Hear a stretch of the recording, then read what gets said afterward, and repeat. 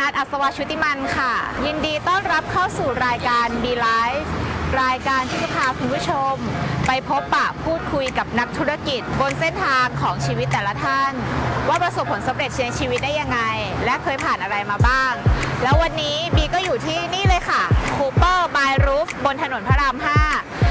ร้านอาหารยอดฮิตติดอันดับต้นๆของพระราม 5 วันนี้บีจะพาไปเจาะลึกว่าร้านนี้มีที่มาที่ไปยังไง และเจ้าของร้านคือใคร และที่สำคัญเจ้าของร้านนี้มีโปรไฟล์ที่ไม่ธรรมดาค่ะ เคยอยู่ในแวดวงบันเทิงมาก่อนด้วย เดี๋ยวพี่พาไปเจอเลยค่ะ กับคุณเก่งเมทัศน์สวนศรีตามมาเลยค่ะ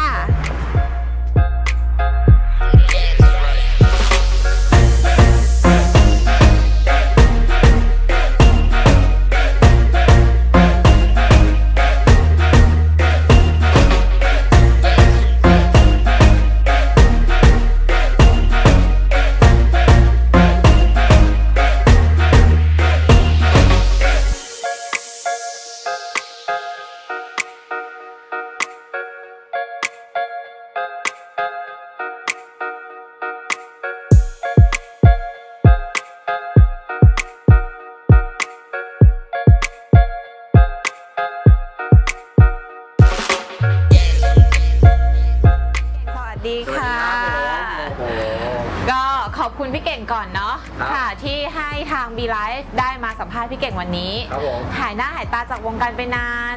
แอบรู้มาว่าแอบมาทำธุรกิจส่วนตัว ครับ ช่วยบอกได้ไหมคะว่าพี่เก่งทำอะไรอยู่ตอนนี้ ตอนนี้ก็ค่ะเปิดร้านอาหารครับค่ะ แล้วก็แข่งรถอะไรอย่างเงี้ยครับอืมเปิดร้านอาหาร มีแข่งรถด้วย อ่า แต่ใช่หลักๆ คือเปิดร้านอาหารใช่ค่ะ เป็นผับแอนด์เลสซลอง อ่า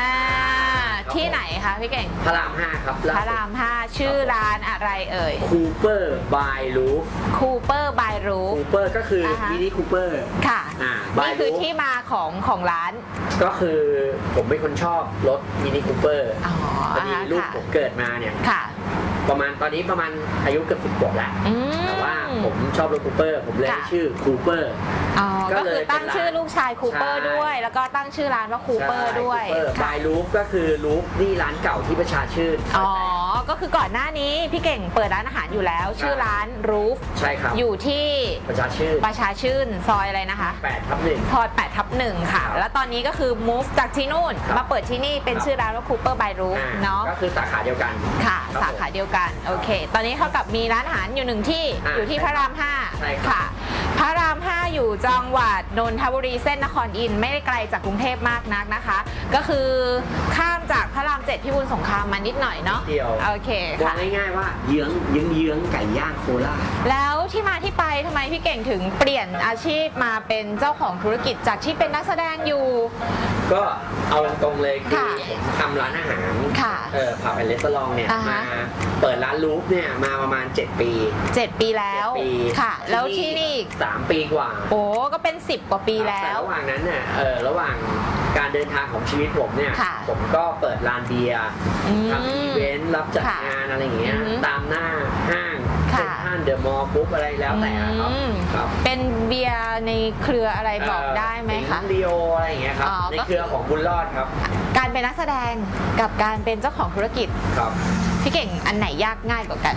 จริงๆผมก็รักทั้งสองอย่างอะนะครับค่ะแต่ว่านักแสดงก็หลังๆก็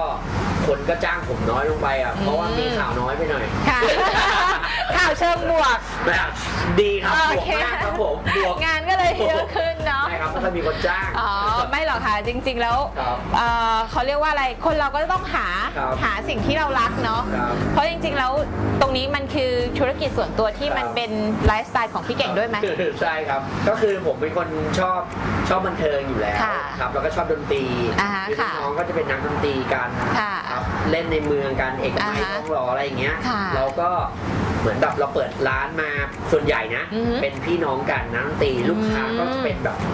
คนทำงานแบบค่ะ วัยรุ่นแบบโอเคอะฮะอือฮึแบบไม่มีแว้นอะไม่มีงี้ดีกแว้นร้านที่ร้านี้เยไม่มีเด็กแว้น ปลอดอาวุธปลอดค่ะ ยาเสพติดอ่าฮะ ครับผม ค่ะ แต่จริงๆ แล้วเท่าที่บีมองสำรวจครับโลเคชันนี้ก็จะมีร้านนี้ที่ที่เป็นอะไรที่น่าสนใจที่สุดครับ แล้วเนาะณย่านนี้สไตล์ล็อฟค่ะ อ่าร้านมันเป็นสไตล์ล็อฟสไตล์วินเทจก็จะมีรถเอ่อสไตล์อเมริกันจอดโชว์อยู่หน้าร้านอะไรอย่างเงี้ยค่ะ แล้วก็มีแต่งด้วยโฟกด้วย อ่าฮะ ร้านสไตล์ล็อฟอะครับนี่ตกแต่งลงไปก็กิดคเยอะเหมือนกันนะที่พี่ชอบเก่งร้านอาหารค่ะสไตล์ผมก็จะรู้ว่าอ่าฮะเออแบบว่าคนแต่งร้านแบบนี้ค่ะชอบแบบไหนอะไรเงี้ยครับที่นี่รองรับได้กี่คนนะคะพี่เก่งเอ่อร้อยยี่สิบห้าโต๊ะครับก็ร้อยน่ายี่จะสิบประห้ามาณโต๊ะ สี่ห้าร้อยคนครับ โห ถือว่าเยอะมากนะคะ ถ้าเกิดใครจะมาจัดปาร์ตี้เลี้ยงฉลองครับก็สามารถสำรองที่นั่งกันไว้ได้ร่วก็มมีหน้าชั้นสองเลยครับ ใครชอบแบบอืม private หรือชค่ะอบแบบส่วนตัวมีโต๊ะปูอ๋ออ่าฮะครับผมเวลาบีมาเที่ยวก็จะแอบเห็นพี่เก่งเป็นดีเจเองอ่าด้วยใช่ครับถูกไหมคะบางอัวันครับบางวันใช่ไหมได้ไปเรียนการเป็น ดีเจเองหรือว่ายังไงไหมอ๋อเปล่าครับ เปิดมั่วเปิด อยากฟังเพลงไหนก็เปิดครับอย่างนี้ไม่ใช่ฮะอ่าฮะก็คือเราเราอยู่กับพวกเสียงเพลงอยู่แล้วไงฮะค่ะแล้วก็บางวันเราก็ไม่ได้จ้างดีเจอะไรอย่างเงี้อืยอฮึเพราะว่าบางคนลูกค้าชอบชอบเราเปิดมากกว่าอ่าๆใช่ DJ ค่ะอะไรอย่างเงี้ยก็คงจะเป็นจุดขายด้วยแหละ มาร้านนี้ก็จะมาหาพี่เก่งเมทัศน์ครับเราก็ต้องสแตนบายที่ร้านทุกวันเข้าทุกวันไหมคะพี่เก่งก็ ส่วนใหญ่จะเข้าทุกวันอาทิตย์หนึ่งอย่างน้อยก็อืมสี่วันห้าวันเงี้ยอ่าฮะค่ะครับผมอืมแล้วการทำธุรกิจของร้านอาหารอุปสรรคที่เจอ พี่เก่งเจออุปสรรคอะไรบ้าง ส่วนใหญ่นะครับ ก็จะเจอปัญหาเรื่องบางทีลูกค้าอาจจะมีแบบติติงเรื่องนู้นเรื่องนี้อืมเราก็ต้องปรับปรุงและแก้ไขครับ แล้วก็ค่ะ อาจจะมีเรื่องเอ่อ พนักงานไหมพนักงานเอ่อเรื่องนู้นเรื่องนี้จุกจิก เรื่องน้ำพุเรื่องไฟเรื่องอะไรนู่นนี่นั่นอืมแต่เราก็ก็คือค่อย ๆ ปรับแก้ครับค่ะ เพราะเพราะว่ามันเป็นหน้างานจริง ๆ ที่เราต้องอืมต้องแก้กันนะค่ะครับคือถ้าเกิดใครที่อยากจะเปิดร้านอาหารก็ต้องก็ต้องยอมรับกับปัญหาที่จะตามมาให้ได้เนาะใช่หลาย ๆ อย่างทั้งเรื่องของมีเรื่องของทั้งเรื่องกฎหมาย หรือว่าเจ้าหน้าที่อะไรอย่างนี้ที่เข้ามาก็เกี่ยวข้องไหมก็คะคือร้านผมนี่เป็นสไตล์ร้านอาหารนะครับค่ะก็คือว่าเด็กต่ำกว่า 18 เราก็ไม่มีอยู่แล้วแล้วก็เออ เราเปิดปิดตามเวลาอ่าฮะอค่ะนุญาตอะไรอย่างเงี้ยครับ อืมก็คือถูกต้องนะฮะค่ะส่วนใหญ่ลูกค้าที่มาก็จะมาแฮงเอาท์กันอืมทานข้าวค่ะเป็นผู้ใหญ่อะครับอค่ะอฟฟิศเออหรือว่าอ่าฮะ คนทำงานอะไรอย่างเงี้ยครับ ค่ะ เด็กๆ ไม่ค่อยมีหรอก แบบสิบสามสิบสี่สิบหกอ่าฮะแปดอะไรอย่างเงี้ยครับ ค่ะจะเป็นผู้ใหญ่นิดนึงครับ อือหือแล้วเปิดกี่โมงปิดกี่โมงอะคะพี่เก่งเปิดตั้งแต่6โมงเย็นครับ เปิด6โมงเย็นครับ จนถึง ถึงตีหนึ่งครับ ตีหนึ่งครับ ค่ะ ก็ ให้พี่เก่งครับอะอธิบายทางมาร้านหน่อยแล้วก็ฝากร้านนิดนึง ครับ อธิบายผมอาจจะอธิบายงงนะฮะ กดเลยนะครับ เอ่อเซิร์ชไปที่คูเปอร์บายลูฟค่ะต้องมีบายลูฟด้วยนะครับต้องเป็นไม่งั้ by จะ roof คูเปอร์ด้วยจะไปเข้าบ้านใครก็ไม่รู้ โอเคค่ะ ต้องมีคูบายเปอรูร์บายลูฟนะครับ ค่ะ ถ้าให้ผมบอกทางอะโอ้อีกนานครับ เพราะว่าตัวเองยังงงเลยฮะแต่มาถูกก็เก่งแล้วนะ คูเปอร์บายลูฟพระราม 5 ครับ ตรงค่ะ เยื้องๆกับไก่ย่างโคราช อ่าค่ะ นี่ฮะเจ้าของร้าน น้องคูเปอร์ครับเนี่ยเชิญน้องคูเปอร์เลยครับาอ๋อน้งคูที่เปอร์มาของคำว่าคูเปอร์ก็คือลูกชายสุดหล่อคนนี้นี่เองผมนี่ลูกคนแรกมีกี่คนคะ สวัสดีครับ ก็มีคนเดียวครับ มีคนเดียว มีคอ๋รัอบกี่ขวบแล้วอะคะเนี่ยครับหนึ่งสองขวบสิบขวบแล้วรูปหล่อเหมือนใครคะ อ่าเหมือนพ่อสิครับอ๋อโอเคเออจะเหมือนใครแล้วโอ้คุณบีที่ถามแปลกหล่อหน้าก๊อปกันมาเลยเนี่ย ใช่ก็กันเลยจพ่อริงสิครับ ๆเหมือนพ่อเนาะแต่สูงเหมือนแม่สูงเหมือนแม่ พ่อตัวเตี้ย เป็นแรงบันดาลใจที่ทำให้เราอยากสร้างอนาคตด้วยไหมคะ เหมือนแบบว่าอยากอยาก อยากหยุดอยากหยุดสิ่งที่เป็นเพย์บอยที่ใครเห็นมาคือแล้ว อดีตที่ผ่านมาเนี่ยอือฮึมันก็ข่าวเนี่ยก็อาจจะมีจริงและไม่จริงค่ะนะครับเราก็รู้ๆกันอยู่ว่าข่าวบางอย่างก็อ่าฮะเชื่อได้บางอย่างก็ค่ะเขียนเพื่อที่จะตีขายไข่ไปนิดนึงอ่าให้มันเสียวแบบอ่าฮะเฮ้ยค่ะให้มันดูโอ้ยนี่ แบบอ่าสุฮะดยอดเลยค่ะเนื้อลายแบบ จริงๆแล้วผมมีลูกแล้วตอนเนี้ยค่ะผมก็ทุกอย่างผมก็ไม่อยากคิดมากแล้วก็ค่ะใจเย็นลงเยอะ ผมก็คืออืมมีลูกแล้วมีอะไรก็จะหันมามองหน้าลูกว่าแบบค่ะเอออะไรอย่างเงี้ยเป็นครับที่ยึดเหนี่ยวใช่ให้เราฉุดคิดว่าเฮ้ยเราใช่ครับเราจะเป็นทำตัวเหมือนเดิมไม่ได้แล้วนะใช่อะไรอย่างนี้แบบเพย์บอยมากไม่ได้เพย์บอยไม่ได้แล้วใช่ครับอืมค่ะไปไหนก็ต้องกลับบ้านเพราะลูกก็ต้องโทรตามตลอดเลยอืมกับเช้ากับเอาอะไรค่อยๆว่ากันเร็วครับอีกทีสองทุ่มนะอ๋อโอเคค่ะครับผมสองทุ่มของวันที่ไปหรือสองทุ่มของวันที่อันนั้นขอให้มันผ่านไปแล้วกันอ่าโอเคถ่ายไม่ได้เวทีลาเนี้ยค่ะอ่าร้านอาหารมันจะต้องมีจุดขายอยู่แล้วแหละค่ะ เครื่องดื่มอาหารหรือว่าอะไรที่มันเป็นsignature ของร้านมาที่ Cooper By Roof จะต้องสั่งเอามีอาป็เมนูแนะนำไหมคะร้านผมนะค่ะไม่ใช่ว่าจะมาขายเหล้าขายเบียร์อ่าฮะค่ะขายแค่แบบแอลกอฮอล์ไม่ใช่นะ ค่ะอ่าฮะร้านผมค็อกเทลก็มีอืมอ่าค็อกเทลน่ารักน่ารักสีสันประมาณนี้เมื่อกี้แอบชิมไปแล้วอร่อยมากว่ากันค่ะไปนะครับอ่าฮะมีไวน์ค่ะมี Hoegaarden มีสิงห์ค่ะมีลีโอในเครืออ่าฮะของบุญรอดมีทั้งหมดอืมนะครับอ่าฮะแล้วค่ะก็อาหารร้านผมอร่อยมากค่ะ คนที่ไม่ดื่มแอลกอฮอล์ค่ะ ก็มาทานอาหารกันได้อืม รับประกันได้ครับ ในจังหวัดนนท์ก็อันดับต้นๆครับค่ะครับผม งั้นเดี๋ยวได้เห็นได้ข่าวว่าพี่เก่งมีเมนูมาโชว์ด้วยครับผมเนาะเดี๋ยวเราให้ทางเจ้าหน้าที่ครับ ยกเมนูเข้ามาให้เราหน่อยไม่ละต้กัอนงหนะน้าที่อะผมยกเอง โอเค เดี๋ยวให้เจ้าของร้านยกเองเลยค่ะ อ่าให้น้องคูเปอร์ช่วยไหมหรือว่าเราจะเดินไปที่โต๊ะ อะเดี๋ยวเดี๋ยวเดี๋ยวยกมาดีกว่า โอเคค่ะ ได้เลย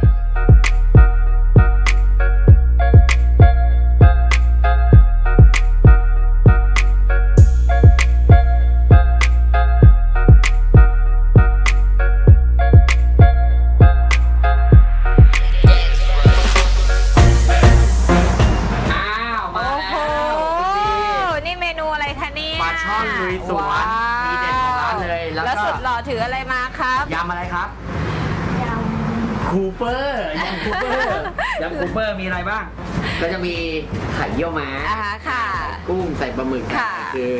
ร้านอื่นก็จะเป็นเหมือนยำรวมมิตรนะคอ่ารับฮะค่ะอันนี้ก็แต่ของเรามีเพิ่มไข่เยี่ยวม้าเข้ามาใช่อ่าฮะค่ะครับโหเมนูน่าทานทุกอย่างเลยอะใช่อันนี้ลาบหมูทอด อ่าฮะค่ะ คืออร่อยมากนะครับอืมลูกที่แล้ลูวกเห็ค้าน มาสั่งประจำอ๋อ แล้วเย็นตาโฟเย็นตาโฟหม้อไฟใช่โอ้ เกี๊ยวนี่ไว้อาทิตย์หนึ่งยังยังกรอบอยู่เลยนะ เดี๋ยวไม่ใช่ลองชิมเลยนะขนาดนั้นเลยอเหรยากอหมักฝรั่งนะฮะเกี๊ยวมันอืดเดี๋ยวไม่ใช่สิของเรามันต้องกรอบไม่เหนียวครับผมค่ะอะคุณบิ๊กงั้นเดี๋ยวลองขทานอลองชิมอันไหนก่อนดี เอาเป็นเอาอันดับหนึ่งไปเลยโอเคไปไปงั้นอะเดี๋ยวบีจะลองชิมให้ท่านผู้ชมเดี๋ยวผมตักอันนี้ไว้ให้ก่อนเลย ขอเป็นปลาหมึกแล้วกันนะคะครับผมอะมาปลาหมึกครับกุ้ง น้ำลายไหลเลยหอมมากค่ะ ตอนนี้กลิ่นหอมมาก นี่เขาบอกว่าข้อแตกต่างของที่อื่นกับที่นี่คือของเรามีไข่เยี่ยวม้านะคะอะเดี๋ยวลองชิมเลยอ่าฮะอืมกินแล้วนะครับอืมเป็นไงบ้างฮะอร่อยมากรสชาติกลมกล่อมมากค่ะพี่เก่ง อาหารอืมที่นี่จะรสจัดนิดนึง ใช่ค่ะจัดจ้านอร่อย ครับ กุ้งก็จะตัวใหญ่ฮะ เป็นกุ้งแม่น้ำครับ อืมกุ้งสดๆเลยค่ะคนี่รับผมอืมเดี๋ยวจะชิมให้ท่านผู้ชมน้ำลายไหลครับ อืม ครับผม นี่คุณอร่อยบีจริงอร่อยจริง เผื่อคอแห้งนะฮะ อืม ต้มคอแห้งเราต้อง เย็นตาโฟหม้อจิบไฟเย็นตาโฟใช่ไหมคะไม่ได้คอแห้งจิบเบียร์ใช่ไหมไม่ได้นะ แหม เราอย่าไปพูดถึงแอลกอฮอล์สิครับโอเค เรา เรากำลังพูดถึงอาหารกันอยู่ ครับผม อันนี้คือลูกชิ้นปลา ลูกชิ้นปลาแท้ๆฮะค่ะปอันลานี้เพิ่งไปจับมาในคลองเมื่อกี้ปลาเส้นอ๋อไม่ใช่แล้วค่ะพี่แกเดี๋ยวเดี๋ยวทำไมปั้นเป็นลูกชิ้นเร็วจัง ครับผมก็จะมีลองชิมดูอันนี้หมูสับหรือเปล่าคะครับ หมูครับอืม ก็เดี๋ยวคือชิมว่าน้ำก็จะเป็นรสจัดนิดนึงนะฮะค่ะ แล้วก็ร้านเราจะไม่ใส่ผงชูรสอืมนะฮะก็คือจะเน้นเรื่องผงชูรสจะไม่ใส่เลย สำหรับคนที่ รักสุขภาพด้วยคครับลีนคลีนฉันไม่กินผงชูรสนะใช่กลัวผมร่วงใช่ที่นี่ได้เลย ครับ คือทุกเมนูไม่ใส่เลยครับไม่ใส่เลยฮะ อืมอืมไม่ใส่นิดเดียวหรือว่าไม่ ไม่ไม่ใส่ไม่ใส่เลยอย่างกระถุงฮะ อ๋อ เจ้าของร้านจะอารมณ์คุณดีเล่นดงแหม โอเคอืม อร่อยไหมฮะ อะ เมนูต่อร่อยอะ ปลาครับ เดี๋ยวผมตักให้คุณบีแล้วค่ะกันขอบคุณค่ะ ปลาช่อนครับ ตัวใหญ่มาก ปลาตช่ออนนยกเข้ามาเบียงคิดในใจมันช่อนหรือกระปลาช่พอน งวะเนี่ย ลุยอะไรครับ ลุยสวนค่ะ ผมลุยสวนหรือสองใจ อะอ๋อลุยสวนไอ้นะสองใจดูคือกระพง เนื้แน่นๆเลยไหม หูยเนื้อแน่นมากค่ะเนขาวๆแน่นอืมๆ ต้องกินอย่างนี้เลยไหมต้องชิ้นใหญ่ ๆ อย่างนี้เลยไหมครัคะ บผม เนี่ยค่ะให้ดูใกล้ๆเลย ครับ เนื้อใหญ่มากชิ้นใหญ่มาก ครับผมเป็นไงฮะอืม ครับ สดไม่มีกลิ่นเลย เติมซะหน่อยครับ ไม่มีกลิ่น พี่เก่งอะครับผมเจ้าของร้านอารมณ์ดีค่ะ อะลาบหมูทอดนะฮะ อีกอย่างหนึ่งนะครับ อ่า อืม ต้องลองทุกอย่างฮะ กลับไปต้องลองน้ำหนักทุกอขึ้ย่าง นแน่นอน คุณบี กำลังจะลดนะคะ ครับผม แต่ถ้ามาเจอร้านนี้แล้ว ครับ เขาบอกว่าพรุ่งนี้ค่อยว่ากันใหม่ โอ้โห วันนี้ยังไม่ต้องแล้วค่ะพรุ่งนี้ครับผมค่อยว่ากันใหม่อืมอันนี้ลาบหมูทอด ครับป็ไง เนื้อหมูแน่นแน่นๆเลยๆฮะสังเกตได้ว่าเนื้อหมูเยอะมาก ที่อื่นบางที่อะจะเขาเรียกว่าอะไรนะข้าวคั่วจะเยอะแป้งจะเยอะแต่ที่นี่บางทีเนื้อหเพื่อนมูผมแน่มาเอ๊ะนทำไมลาบหมูทอดร้านนี้มันสีมันดำๆเฮ้ยหมูเป็นลาหรือเปล่าจริงๆไม่ใช่ฮะเป็นครับพูดเล่นไม่ได้เป็นนะไม่ตกลงแล้วเป็นหมูหรือเป็นลาพูดเล่นหมูครับหมู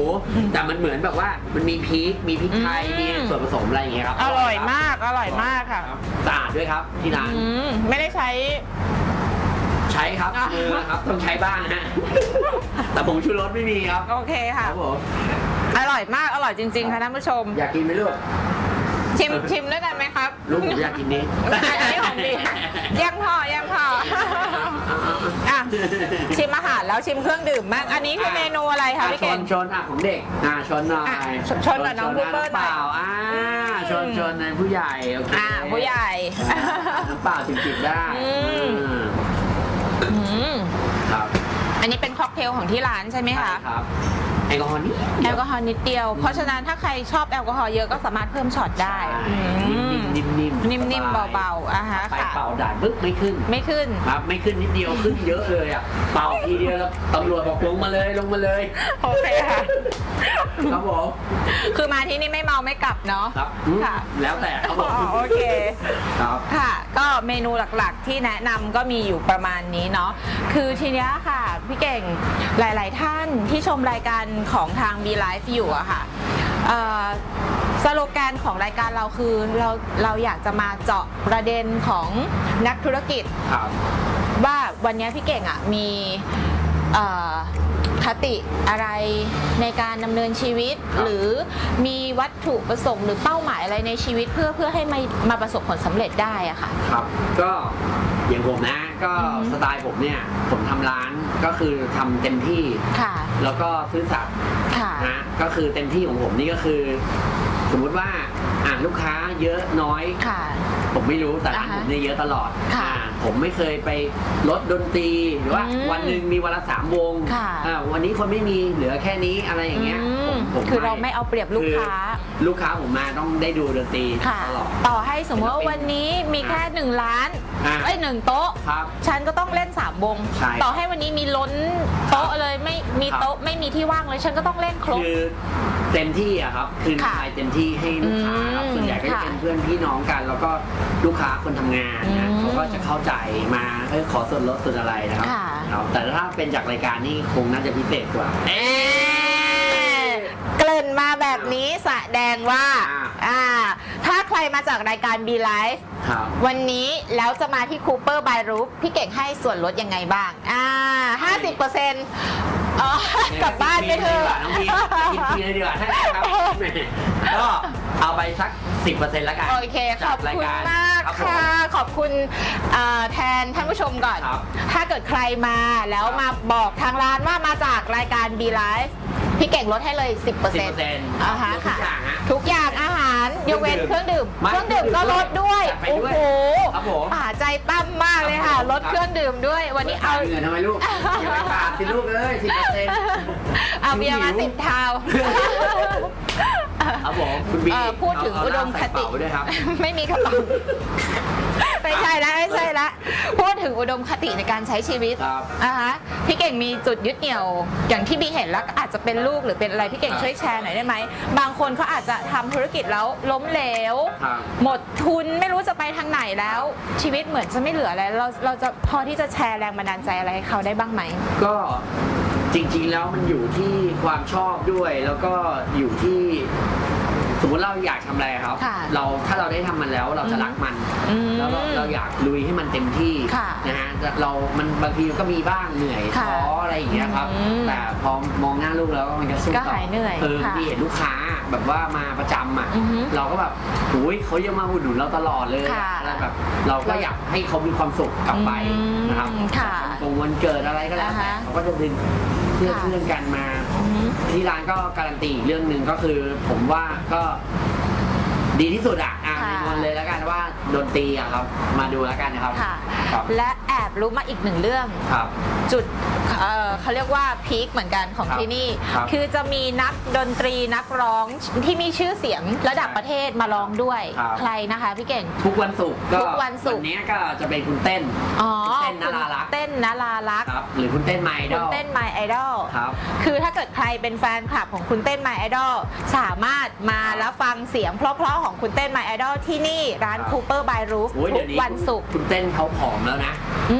เออมเต้นผอมโหเขาจะค่ะแม่เพลงรักครับอืมเขาผอมมากแล้วค่ะคือ เมื่อก่อนโหอ้วนมากเลยค่ะเนอะใช่เดี๋ยวนี้สิ่งที่เดี๋ยวนี้ผอมสวยเลยอืม แล้วร้องเพลงเพอด้วย ว้าว อย่างนี้เราต้องไม่พลาดแล้ว อ่าใช่คืนนี้ครับผม กี่โมงคะพี่เก่งสี่ทุ่มครับ สี่ทุ่มของทุกวันศุกร์เล่นกี่ชั่วโมงคะคุณเต้เล่นนชั่วโมงครึ่งเล่นชั่วโมงครึ่งสี่ทุ่มถึงห้าทุ่มครึ่งครับใช่ นะคะของทุกวันศุกร์ครับ ถ้าเกิดว่าใครอยากเจอคุณเต้นแวะมาที่ร้านของพี่เก่งได้เนาะวันหนึงค่ะแต่จะมีดนตรีวันละสามวงอืม ก็คือไล่ตั้งแต่สองทุ่มครึ่งค่ะครับสองทุ่มครึ่งสี่ทุ่มถึงสี่ทุ่ม อ่าสี่ทุ่มกว่าถึงเที่ยงคืนอ่าฮะ เที่ยงคืนต่อไป อ๋อเที่ยงคืนถึงตีหนึ่งครับ แต่ แต่ดนตรีแต่ละวงไม่เหมือนกันไม่เหมือนกันครับค่ะ เป็นหลักก็สไตล์แต่ละวันไม่ซ้ำกันครับเนาะ บางทีเป็นสไตล์แจ๊สบางทีอ่าฮะเป็นค่ะสไตล์อินดี้เป็นสไตล์ค่ะอะไรอย่างเงี้ยครับครับคือมาที่นี่แล้วได้ทุกแนว ครับได้ทุกแนวฮะ ค่ะ ก็มาถึงช่วงสุดท้ายของรายการนะคะ